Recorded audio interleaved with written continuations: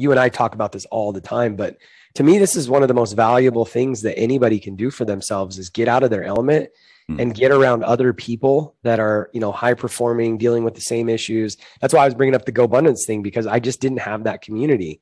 And that's one thing you've been pretty intentional about building. Number one, we get to go, dude, the NASCAR thing blew my mind. And, and the other, you know, so I, I've told Kyle this, but like when when you said we were going to go hang out with a NASCAR pit crew, I was like, oh, whatever. I don't even like NASCAR. Like blah.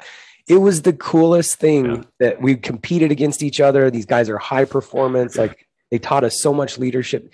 Every from the time I got to Pinehurst until I left Pinehurst, um, you curated such a place for us to connect and build community, but also find a higher level and version of ourselves. And then the other side of it is I've met so many people that I've stayed in contact with, like through that process that have become friends. You know, many of them have been on the podcast